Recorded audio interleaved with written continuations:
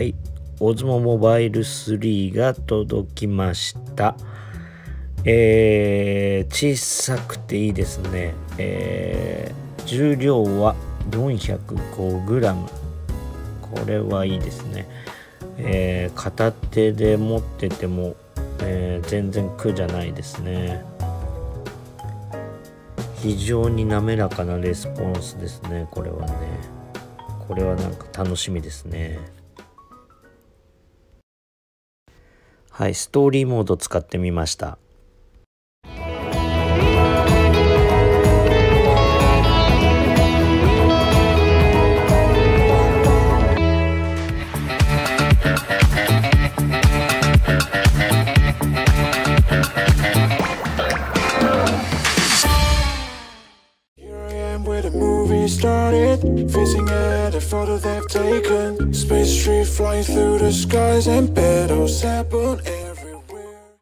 そしてハイパーラプスを使ってみました。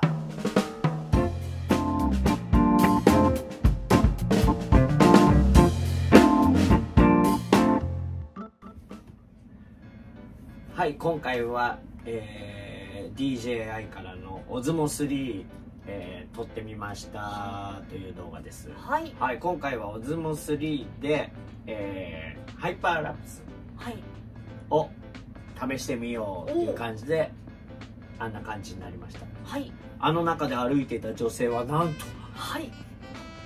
パーツの形状教えてよ。萌子です。そういうことですっていうのまあ、えっ、ー、と。自己紹介いいですね。アミと萌さんに。えっ、ー、とあれ歩いてもらいました街を。やってみて。はい。どうでしたか？いやなんかあんな感じになります、はい、ねえ、うん、あのー、そうそうそう。えどっちがタイムラプスが？うん。今まではタイムラプスってなったけど、はい、この DJI Osmo 3のこのハイパーラプスっていうのが出て、こうグワーッと追いかけてあれが撮れるようになりました、ね、はい、なんか実際すごい結構な距離を歩いてるんですけど、うん、実際見ると、うん、なんかね短いしあと、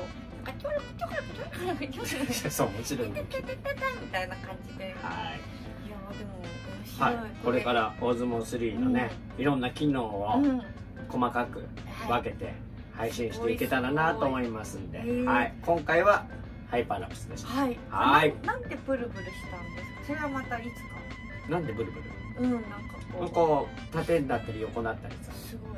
できその人をキャン、フォーカスとかこう見つけたらあ、それもできるし、それはまた今度。また今度。ああ、じらしますね。いろいろあるんでね。オズモスリーすごい、はい、それでは。色もいいね。はい。また。はい。さよなら。またね